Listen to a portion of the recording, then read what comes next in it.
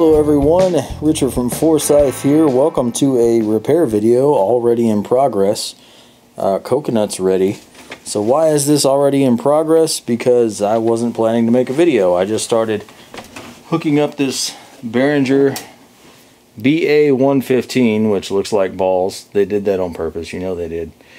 Um, Ampeg did it too. They have a BA115. Anyway,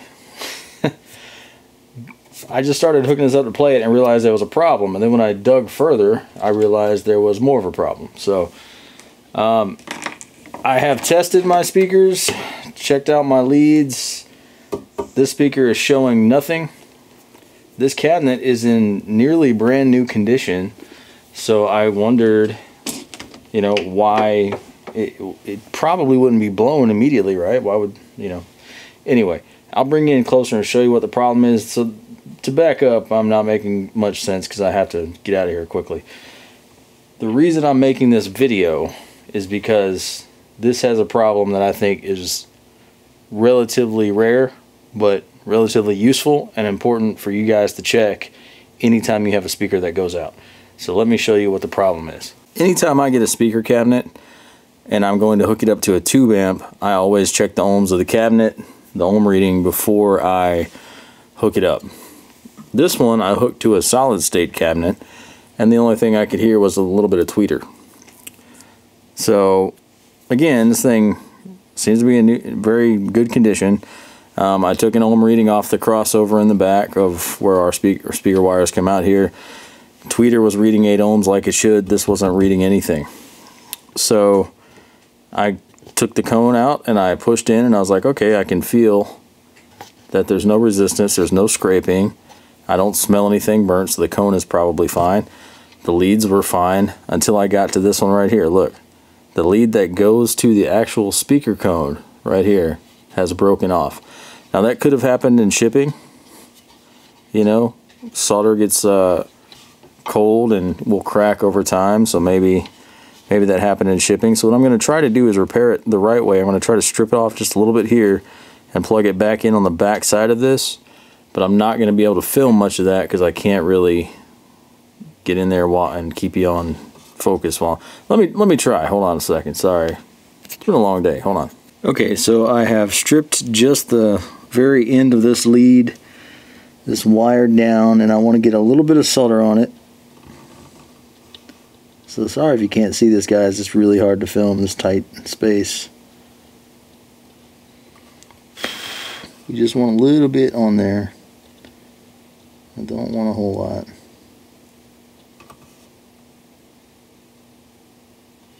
Okay. Now, I am going to try my best. I wish I had some needle nose pliers around here. I think they're all in my car. If you can't see this, I'm really, really sorry. But I really only have one shot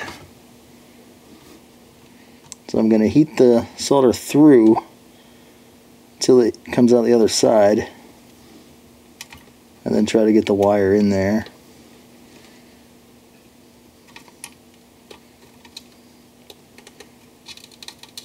I'm doing it kind of blind. Oh, there we go. Heat up the end of the wire.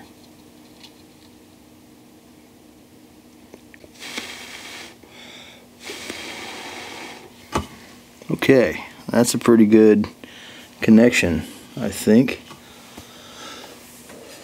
Let that cool just a minute.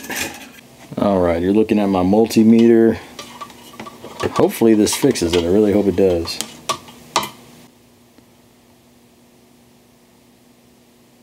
So 6.6-ish ohms, 6.2, probably if I got a little better connection it'd be a little closer to 8.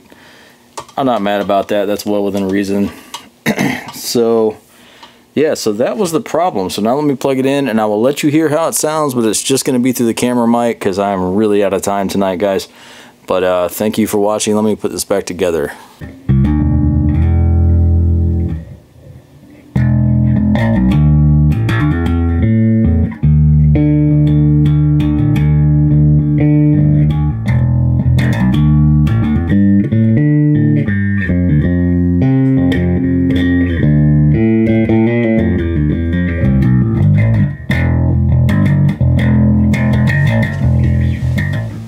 Show back on later. I want to clean this up before I do that, but you might say like Richard, why'd you get a Behringer piece of gear, like a cheap piece of gear? I think a lot of Behringer stuff sucks, but I think a lot more of it is underrated, and I think their bass stuff is actually pretty decent. I, I picked this up because I recently locally got a very cheap uh, BX2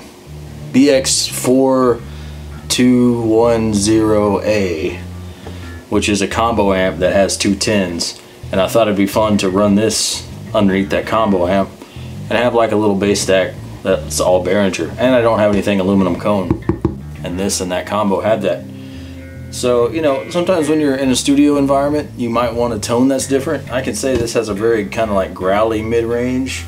The highs even with the tweeter aren't super present but that could be the tweeter on this thing I don't know I do have it switched on but uh, yeah, thanks for watching, and I hope if you have a speaker issue, you'll take a look at your trace little tracer wires, little tinsel leads there, and that's just another thing you can check. In my case, I got lucky. That was all that was wrong with it. So yeah, and I got this for 100 bucks, so I don't feel too bad about that. Thanks for watching, and I'll see you guys next time.